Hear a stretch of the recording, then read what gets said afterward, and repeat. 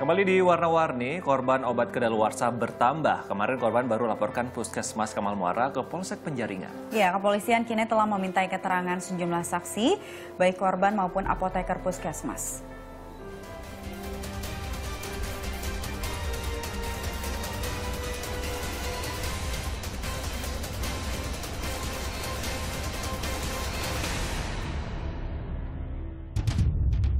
Berharap mendapatkan asupan suplemen dan vitamin bagi tumbuh kembang si jabang bayi.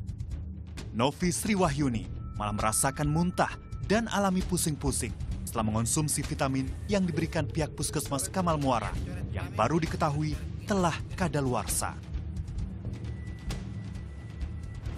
Berat badannya juga turun 3 kg sejak pertama kali mengonsumsi vitamin B6 dari puskesmas. Tidak terima atas pelayanan yang diberikan pihak puskesmas, ia pun bersama kuasa hukumnya langsung mendatangi Kasubnit Polsek Penjaringan, membuat laporan serta memberikan keterangan atas kasus obat kadaluarsa yang ia terima dari Puskesmas Kamal Muara.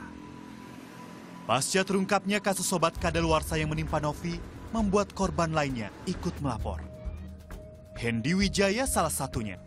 Ia juga baru mengetahui vitamin B6 yang dikonsumsi istrinya juga sudah kadaluarsa sejak April 2019 lalu. Gejala yang dialami juga sama seperti apa yang dirasakan korban lainnya. Vitaminnya vitamin yang sama B6 dan mungkin yang udah diminum itu sekitar 15 liter yang udah diminum. Ya efeknya itu pada saat meminum itu ya pusing.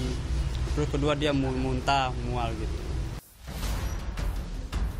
Sementara menurut medis, efek minum obat kadaluarsa kemungkinan menyebabkan penyakit yang lebih serius dan resistensi antibiotik karena obat kadaluarsa tentu berisiko ditumbuhi bakteri sehingga kemungkinan antibiotik gagal mengobati infeksi.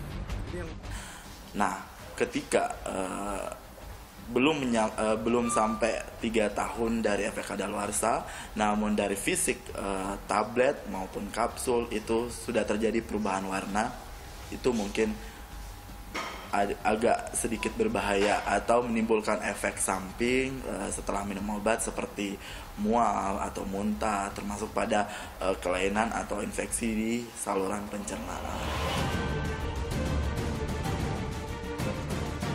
Novi saat ini sudah diperiksa di Rumah Sakit Umum Daerah Cengkareng, Jakarta Barat. Kondisi korban berdasarkan pemeriksaan sejauh ini baik. Namun, ada tidaknya gangguan pada janin belum bisa dipastikan karena usia janin yang sekarang baru sekitar 4 bulan.